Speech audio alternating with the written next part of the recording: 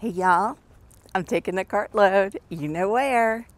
And I'm happy to say I am growing more diversified things. I actually don't have any red pentas in this load. I have some wild petunias, some narrow leaf sunflowers, privet senna, host to the sulfurs, and look at these little baby sleepy hibiscus I grew from seed. So they're all gonna be heading to the nectary and they'll be there this morning and hopefully this video will go up tonight. So if you want any of these go to the nectary saturday morning. So it's a bit of a rainy morning here. Um, we had some good rain last night. I think it's going to clear out but there's definitely going to be the ability to have some gardening time. Look i was just walking by to go in the house and grab my keys and I saw these sweet babies and they want to be on camera. There we go. And I almost forgot these. Can't forget these so y'all know they're they're from me. Oh, and we're trying something new. Look at these adorable little guys. These are little zinnia cups. You find Is that not adorable? These are biodegradable and compostable cups, and they got little zinnia plants in them. How cute is that? So we're going to try selling these at the Nectary, see how it goes.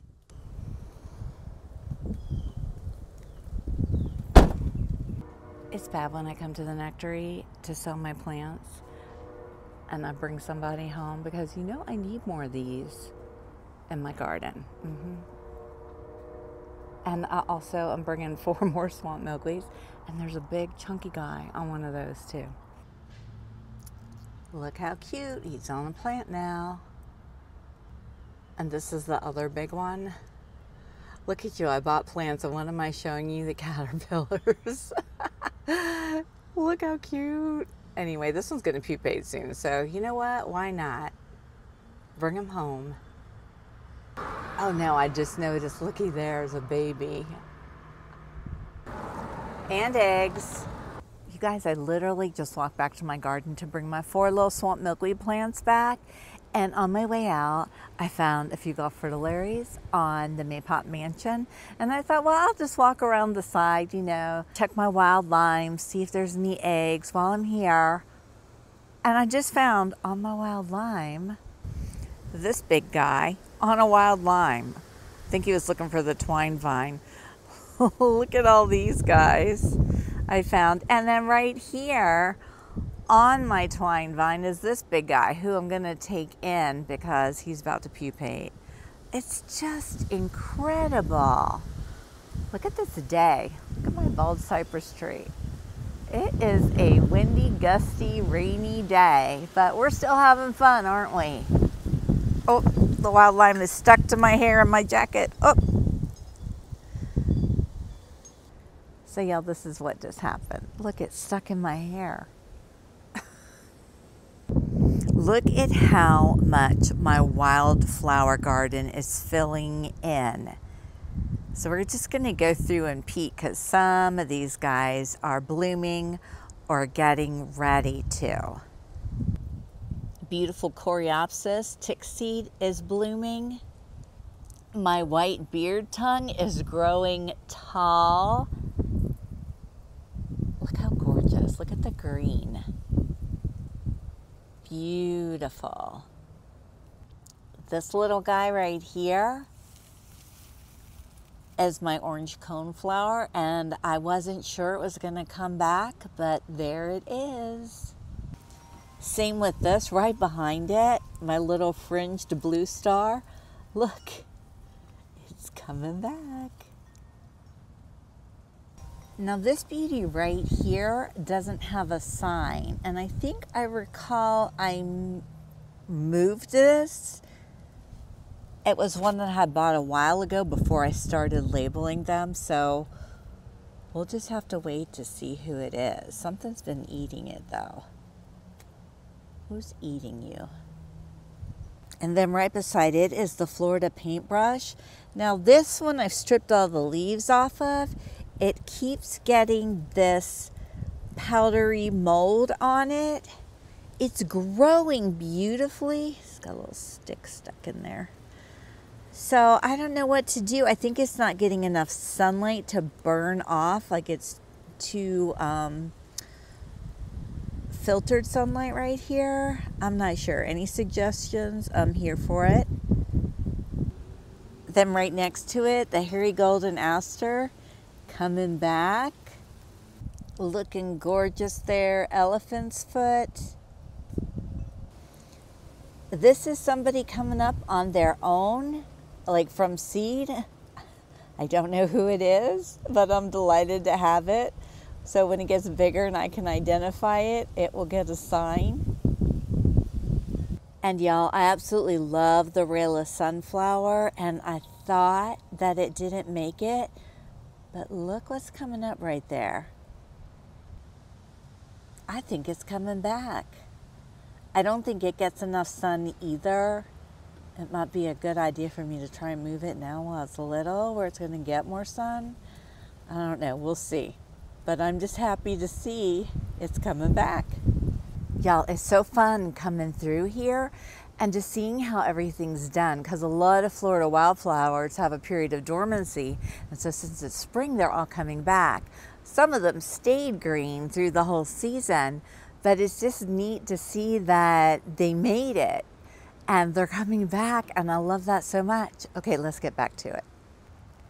This Rudbeckia mollis, look at how big it is. Look at that sturdy stem. So it's very happy. Behind it, look, we've got this blooming and this. This is the white indigo. So pretty. And this is a starry rosinweed.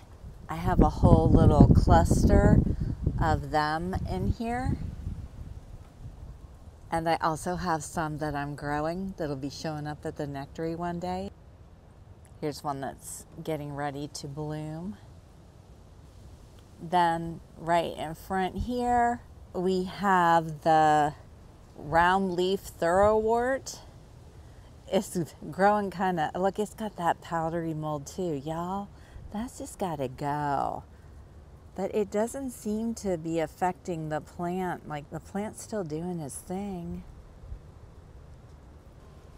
This is a clump of Rudbeckia hirta, looking gorgeous. Has a lot of buds on it.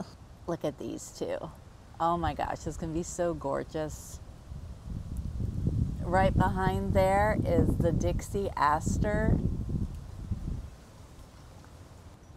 Hammock snake root growing back beautifully. There's some more coreopsis coming up on its own. Tall ironweeds just popping out a few little leaves. Wavy leaf aster sending up some shoots. This tall guy, don't know what it is, but I'm loving it. It's some sort of aster, I think. And the one that um, was my favorite, the uh, Georgia Aster, oh my gosh, gorgeous purple flowers. I'll put a picture up here. I did not see signs of it coming back, but all around where it was, there's some little things coming up, which I hope, hope, hope are little baby Georgia asters. You can see here's my sign right here, but then all around it, are all these little guys. There's some here and there's some here. So that will be so fabulous. If these are all Georgia asters, I will be thrilled. Blazing stars all have their grassy base. The short leaf blazing star, I think this was my favorite one it needs a little bit of weeding, but it's looking good. Slender blazing star. Look right here, we're blooming. Who are we? Do we not have a tag? We don't have a tag. Here is a no name, some, sort, some sort of aster. Beautiful. I love the um, bluish tint to the leaves. It's a more of a cool tone leaf color. Savannah Blazing Star. Oh, look. Surprise, surprise. Maypop incense coming in everywhere. Narrow leaf ironweed, and you look, you can see it's got a little bit. Let me pull some of that pine bark away from there. look at that, sweet baby coming up. I love this plant too. Actually have two that I grew from seed. They're not going to the nectary, they're going in my garden, but I will try to grow more. And who's this cute little guy right here? Oh, tall ironweed. So I think that's everybody that I have labeled but everybody is looking good.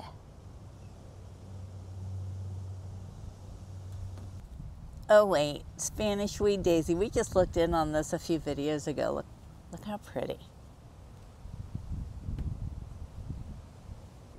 Scarlet rose mallows are getting taller every day. My twin flowers looking happy down below clustered bush mints growing in. That's my old one from last year, and this is the one I just planted. I have all this stuff coming up in here that I didn't plant. I think, I think these are Elliott's asters. I'm not sure. There could be a combination of Elliott's asters and narrow leaf sunflowers because that's what was in here throwing off seeds.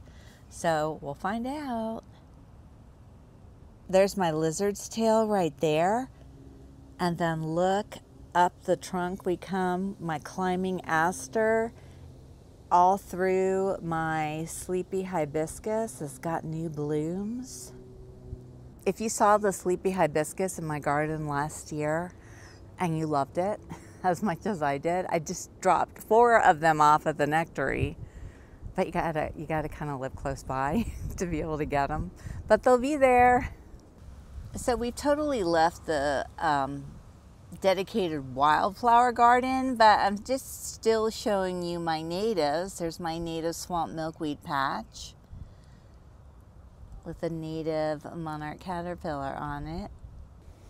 And in this corner that's going to get some work done to it are uh, wild limes, privet sennas,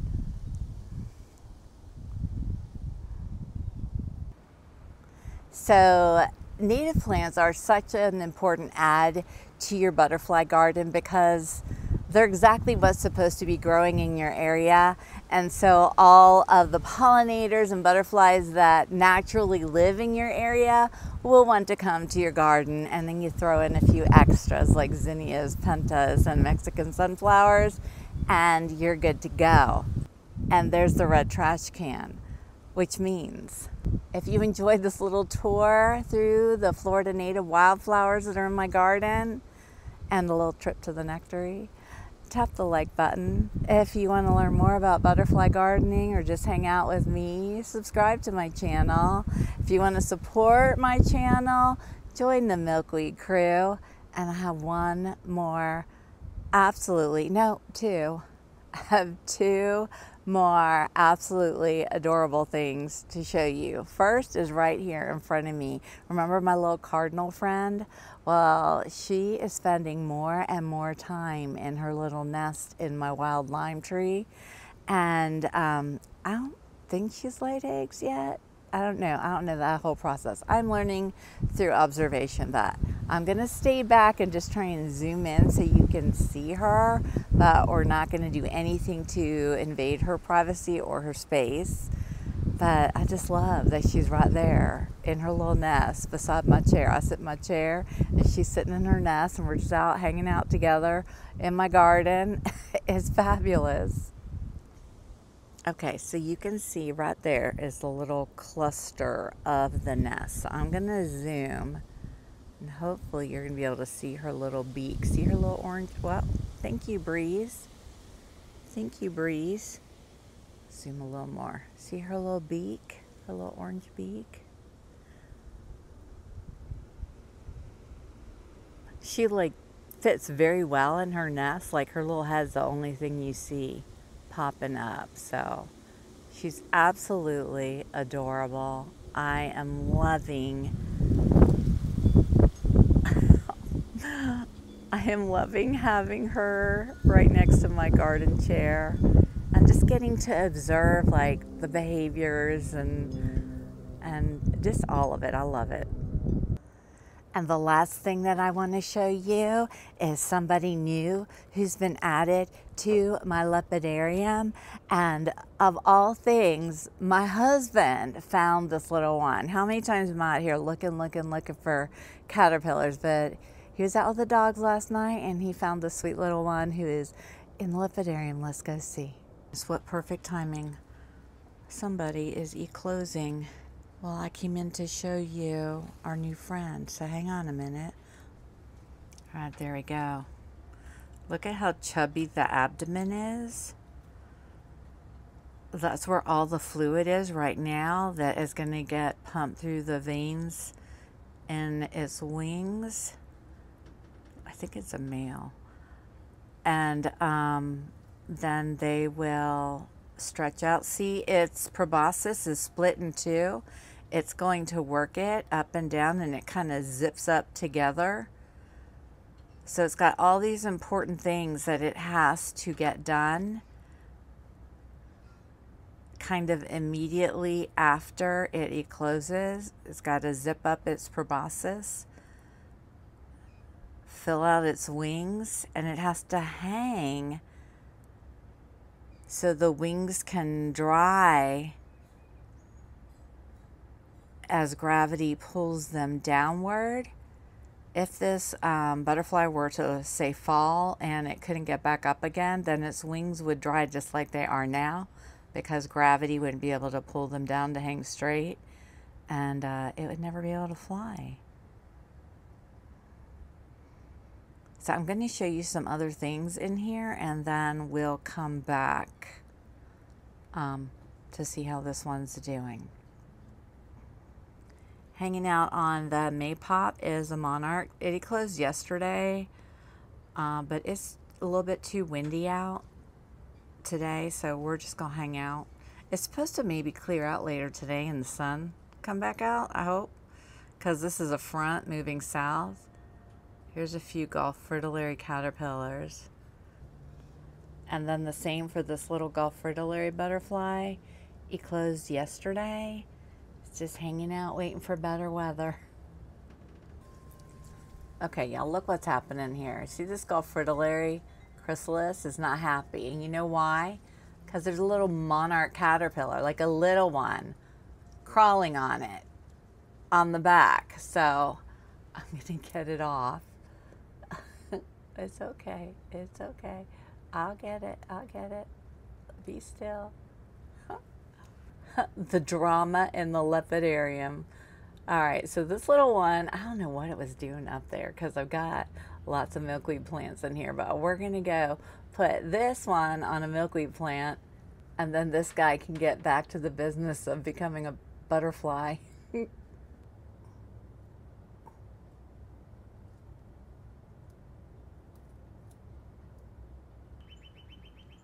right, we're still making progress here. And this is the new guest, a sulfur caterpillar on privet senna host plant. Oh, I just dropped four privet sennas off of the nectary. you want to get these guys, go get some of those. Y'all, I have a hard time. Like, there's uh, several sulfur butterflies here. Um, the cloudless and the orange barred sulfur. And I don't I don't ever know. I just call them all sulfur butterflies because I also read somewhere that they can um, interbreed. So some things can be a cross between two. So on my videos, they're all sulfur butterflies. I mean, when I actually see the butterfly, um, I can usually tell the orange barred if it'll sit still for me versus the cloudless. I think there's a clouded sulfur too.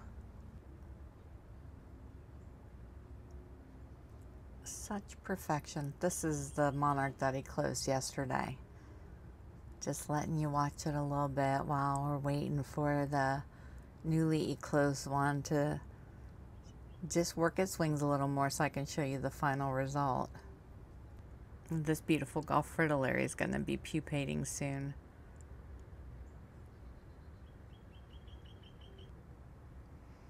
See, look at how much progress it's made.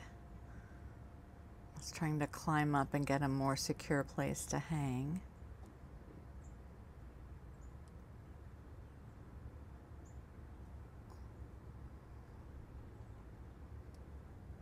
There's a little baby zebra longwing caterpillar and the eggs that I brought in. You can see how much the abdomen has shrunk since it first eclosed.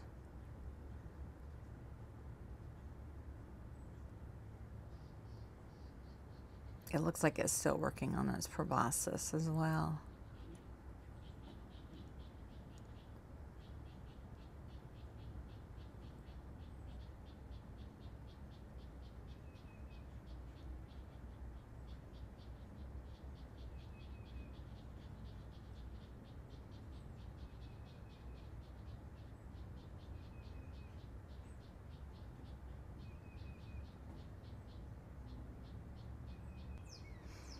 It seems to not be gripping well. It just slipped off of the um, metal because it is real slick. Not a lot of friction there.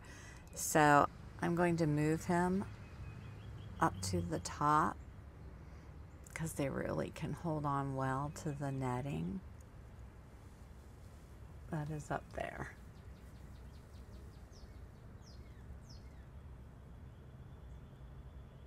And look at how straight those wings are now. You can see the little patch right there, that little spot. That's how we know it's a male.